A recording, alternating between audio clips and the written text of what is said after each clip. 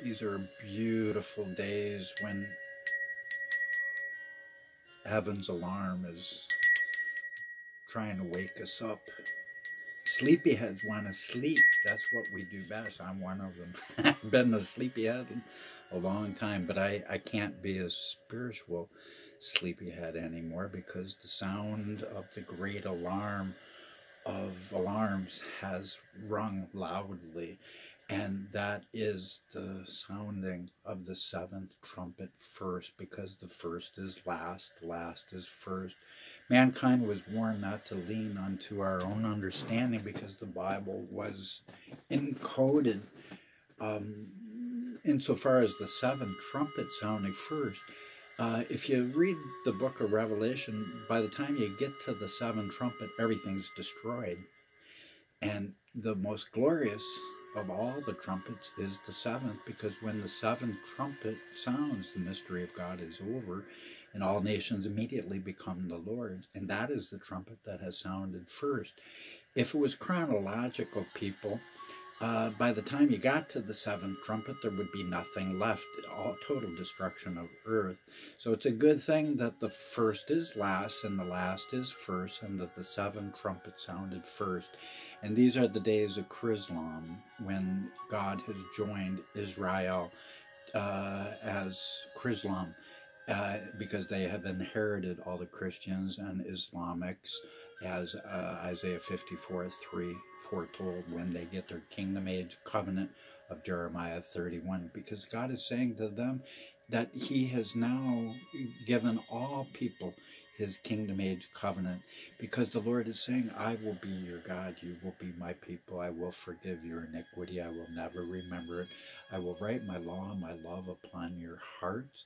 Beyond that, no one will ever need to be taught of me anymore, saith the Lord God, for all people shall know me from the least to the greatest. And all people have, because uh, if we are as a little child, that is what we must be.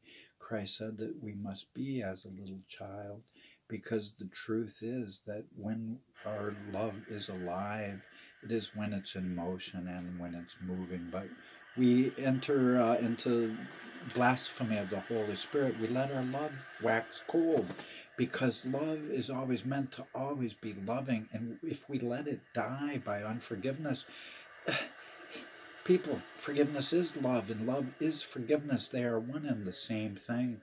So know that these are the days of the great re refreshing, the great restitution, the great restoration of Acts 3.21 has finally come uh, uh, to awaken all sleepers. If, if, if, if Christ uh, if his restoration of Acts 3.21 does not happen, that word says he would be kept in reserve in heaven and could not return unto us.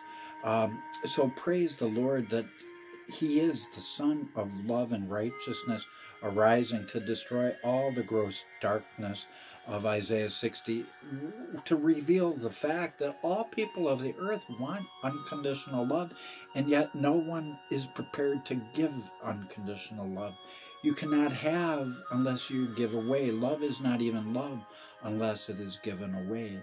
So it's time to arise to the darkness of our own insanity that will finally be able to leave many like a puff of black smoke and as the Lord Son of Holiness arises with healing under his wings, he is bringing forth uh, his word in motion so, because his love is as living waters to in his glory shall cover the earth as waters cover the sea as grass cover the land as uh, sands cover the most desolate of deserts and lilies cover the ponds even as snow covers the himalayas and his honor and glory must be uh, raised up for all people of the nation. But it is written unto those who will not embrace God's word of his glory over his love, peace, and hope unto all of those that will not do that. Instead, he would take a shit pie, Malachi 2, from uh, our rotten uh, food at uh, fundamental religion teaches spiritual racism. Uh, and he says he would mush it in our faces of those standing against his glory because in these days it is revealed that the Lord has always had unconditional love. For he says to all people, I will be your God. So let the intelligence now hear what the Spirit is saying unto all people of love. The wise shall give their ears to hear what is said now in these latter days. And as it is written in Jeremiah 30 24, it shall be considered in these latter days that the Lord God is saying, I shall return my terrifying anger and stop the fast rising great tribulation if my people will give me the desire of my heart uh, to arise in the brotherhood of love that he foretold in John 10, with him arising as the good shepherd over all the flocks of men. And so, time for people to understand. Uh, let the wise rest now in the casket of their minds, to, to be keys to their hearts, and let the smart come to see that the he whose works exceeds their wisdom their wisdom will endure if it goes beyond and transcends. But he whose wisdom exceeds his works, his wisdom will not endure if it doesn't go beyond his works. His wisdom will not endure. We must transcend because if our love does not go beyond the works of love that we should be doing, then our love cannot go on, and it would die the death of blasphemy of the Holy Spirit if we let our love die. Many are going to say, Lord, Lord. He's going to say, I don't know you. You let your love light go out. You committed spiritual suicide because we are angels in the flesh. The glory of his latter house is greater than that of the former. First our last, the last our first. He said, Jesus, Isa Yeshua, the living word of God, that we are uh, gods in John 10. I tell you, we are angels in the flesh. That is why Paul foretold that all of creation has been groaning with great uh, expectation for the end time revelation of who we are. That is why the Word of God declares that we would be like the angels, sexless, neither male nor female, because that's exactly what we have always been. Children of light are we. So if we get that into our heads, this world will change. So therefore the mighty the mighty man will conquer his ignorance, and the rich are those welcoming the Lord's truest light of his foretold treasure of excellence, because he alone is the excellence of treasure, and he is our priceless pearl of great reward that has gone out into the deep. And he foretold who will come and bring the master's household meat before while the master is still away. He foretold a mountain of meat in Isaiah 25. It is the latter day mountain of Isaiah 2 and Micah 4. There has never been another new mountain on earth, but I have built a brand new mountain. There's over 4,000 videos uh, at my channel, and uh, no one on earth has done any more than a, almost maybe a third of that but it took them 10 years. I've done it in one year triple. So praise the lord that he's calling deep calls unto deep. And if we will hear the voice of love because he is the roaring lion of zion and he's crying out louder all of our names as if we were the only ones. And know that uh, his treasury of love is as manna in the wilderness for all those who will stop ignoring this ministry as it has been and shall be continued for a while. But as it was in the beginning, so shall it be at the end. And know that honesty is born of the eagle of the eons. And for that reason, our lion of Zion, he is now roaring this. Thus saith our, the living word of God. The last divine religion is the same as the first non religion, where no man was lifted above another for what they believed. That will be the last religion, says the Lord. So let the wise open the gates of their eyes and ears to learn, says the Lord. For no longer shall the wise speak of the first things uh, first and the last things last. No more shall the wise speak of that.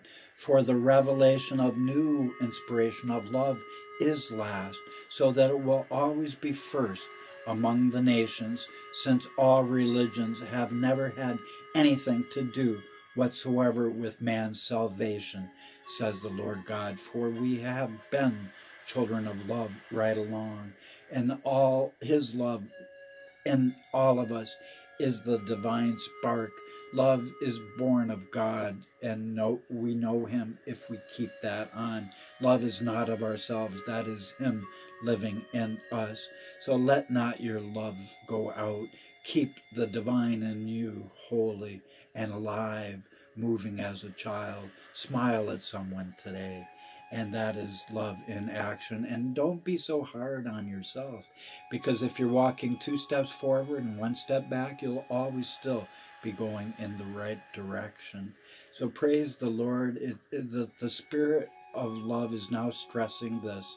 Let the just know by love's guidance that together there has been evidence of the Spirit's uh, intervention uh, over the earth, and it will not be by power nor by might, but by the Spirit of love, saith the Holy Spirit, the Holy Ghost, uh, so that Jesus will be able to cure this world, uh, its lovelessness, by His love, regardless of people's religion, as all people accept the divine love that He sends for all those willing not to be as shallow as a glass of water. And so it's time that people will stop looking at him as being a respecter of men because uh, uh, that is totally untrue. And so the dove says that uh, it's time that rock solid evidence from our majesty of majesties needs to be seen and heard because it is absolute proof that no religion has ever been necessary unto anyone ever being saved without love, because such is impossible. Love alone is the salvation of each and every one of us because love is God living in us. And anyone, absolutely anyone calling my word of love untrue is committing blasphemy of the Holy Spirit. And they do not believe in Scripture that states that God is the same yesterday, today, and tomorrow. For our Lord God has saved millions of souls for thousands of years before any religions ever existed. He has always only looked upon the heart. And just as he has saved those of love back in the early days when no religion existed without any written religions whatsoever, so too does he now save anyone of love, regardless of whatever they have believed, and he receives all glory. And so it is true that because God is love and Jesus is love and they are one in love, so too is it true that for our beloved, who is the blessed, the beloved, and the adored, uh, that our love so loved the world that he gave his only begotten love, so whosoever would love and keep theirs alive should not perish, but have everlasting love and everlasting life evermore. So praise God. It's time for his glory to fall. And know that these are the days of uh, Elijah, the days of the latter day Daniel, the days of Shiloh of Genesis 49 12, whose eyes are red and dull of wine. That was never uh, Jesus as an alcoholic, people. He was never a drinker. So wisen up there, Heimer. Weisenheimers. Weisenheimers all over the world. And it wasn't Jesus in uh, Isaiah 49 4 either who did everything in vain. He never did anything in vain. He knew he was going to join all the world together by Chrislam, which is his word of Isaiah 62 2 to Israel, that they have inherited all mankind. Isaiah 54 3. So, in these days of the latter day Daniels, now that they have finally manifested uh, the dove of love, love from the Lord, the most regal eagle of the eons, the Holy Spirit, is now bringing forth the heaven sent unity for all mankind that will embrace love and lift it up. And that seventh spirit of the seven spirits of God now says this. So listen, people. Let, let all have ears to hear what the Spirit says. For the Spirit of love and blessedness says the unity of all people of love through our own efforts has always been in vain. For it has been our beloved, our blessed, and he who is the adored alone, our living Lord of love, Lord of always, alone who has made our impossibilities to, to be possible through his presence of love in motion moving. So let the wise be uh, confounded by such a foolish idea that anything could be of us. For the message of love from our Lord of always is the prophesied intervention that he spoke of in Matthew 24 22. He said that unless these days were cut short, no flesh could be saved. Nothing, absolutely nothing, absolutely nothing, absolutely nothing on earth can stop uh, cut time short except for God's word in motion and only unconditional love that he is now unveiling can do that. No more shall we look through a glass darkly, only knowing in part, only seeing in part, as it has been. Now we may shine as the stars that we were fearfully and wonderfully created to be higher than. And as long as possible, I will talk with anyone um, that desires to hear the Lord's word of command coming forth. Uh, for he is speaking forth the wind and fire of his power, and all shall be accomplished, not by power nor by might, but by his spirit of love. And know that whosoever wants to be first must initially become slave unto all. And so it's time that we now understand that Christ's faithful few need to know that only now can there truly be true unity amongst mankind because finally the Word of God has been proven to hoist up the flag of equality of all mankind as properly interpreted here at this channel for the Kingdom Age alone. This is the only Kingdom Age channel that will ever be. So know that it's time that uh, Jesus Christ Almighty, uh, uh, He has torn the canons of all the world and uh, that is the shattering of the power of the holy people. His word had to open for his message that he wrote, his inspiration of Malachi 3.1.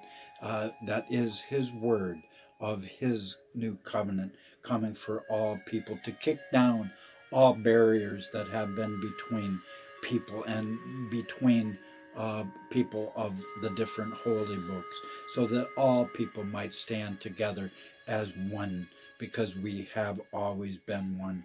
Other than this, it's only sheer insanity um, to stand against if we will not obey what the Bible has directed all mankind to. For in these days of the harvest early beginnings, the Lord Jesus Christ has manifested the word of Amos 9, for he alone is the um, sower of the seed of his love who has overtaken his reaper, who I am, Elijah, uh, because Christ is the risen Lamb who is now the good shepherd over all the flocks of man. So thus saith our Lord of Lords, as it was in the beginning, so is it now at the end. For my wind of blessedness, of love, uh, has come forth now to cause the spiritual restoration of the world from the very tip of Gabriel's whitest wing uh, by the spirit of Elijah and Moses, who will yet still come if this world will not listen to this inspiration. uh, that shall sweep the earth as a wild fire of his refiner's fire, while bringing forth a blazing inferno of the Lord's most fervent fires of his justice, his peace, and his mercy. So know that those who are born of love, uh, many will say, Lord, Lord, and he'll say, I don't know you. And the Lord will, will, will say that faith saves nobody. Love saves everybody loving, says the Lord God. For there is only one love that loves unconditionally, and it is the love of divine love that all of us have had as little children, and we need to get that back. This is the kingdom age love. And as the obedient people obey the Lord's Spirit, the Lord says they will come to see that all religions uh, are are as needed as none were.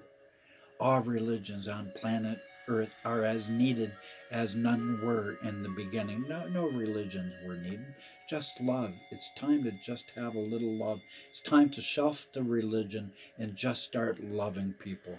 And uh, for all, all, only those of loved are saved. Um, the the gospel truth is that in the vineyards of heaven, all get paid the same wages at the end of the day as the Lord's parable uh, says. And that is the truest truth that restores all things. And uh, for the Lord has never had any respecter. He's never been a respecter of people, never having had favorites. So nor could any religion ever save the unloving people, just as religion can't save those whose love is on because they're already saved. And as Daniel 12 9 foresaw, I, whose name is Daniel, I am the latter day Daniel, the messenger, and I now proclaim that I am now standing in my lot within the Lord's house of beloved, uh, on the house of his prophets, as I embrace my destiny of causing the religious people of the world to realize that love, His love, God in all of us, has always transcended all religions. And for love is the Lord's secret weapon of His design, and His arm has never been too short that it cannot save. And He saves all of those who keeps uh, their love alive. So praise the Lord, and it's time that we come to, to the close of this video, but uh, it's time that we understand the truest truth that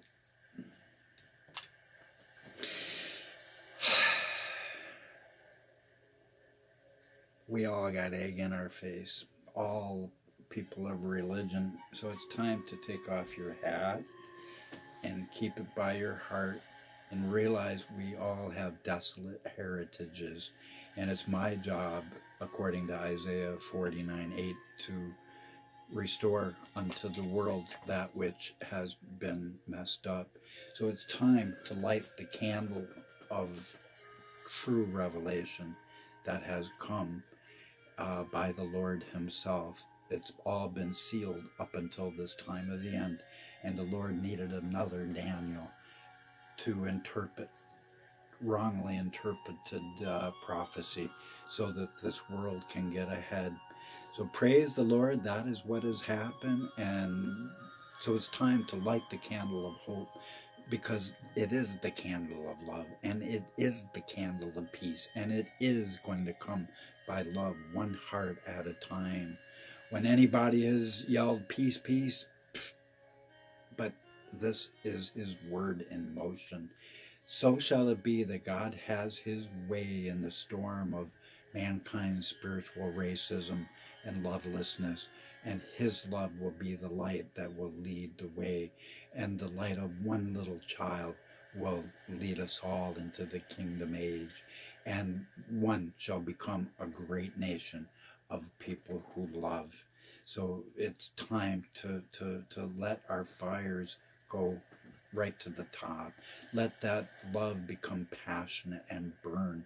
These are the days that will burn as an oven, as the prophet Malachi foretold, when even our very religion is ripped apart if we will believe to God's honest truth that even Satan has now been removed for a thousand years in, in accordance with Daniel 12 1 because the first is last, the last is first. Satan was the accuser of the brethren day and night before the Lord. And because of that, it is absolutely true that he had to be removed, or else he would have made God into a liar. Because day and night he was always accusing us. And until you understand, I'm going to do something here. Uh, until you understand the first is last, the last is first, you, no one can understand prophecy at all. Uh, this is uh, the New Jerusalem. Take a picture of it, and you can see it. Just uh, Google New Jerusalem, NASA, and it is a beautiful city, celestial city on the edge of the universe. And uh, so make sure you check that out. But it's one of the last things that was to come, and because it is one of the first things. And uh, in the same way, the seven trumpets sounded first, because the first is last, and the last is first, and all nations have now become the Lord's. So, hey, let the Jubilee of Jubilees begin, because in these days of Elijah, we can put all the lights off, and we can turn off the music and we can just celebrate one thing that in this hour of his power that we can let all the spookiness of spiritual spooky spirituality go the way of lobster men and uh, boogeymen in our closets as we just concentrate on his light of love so, WWJ do, what would Jesus do about love? So, I ask you to get it in motion like never before. Love y'all. Bye.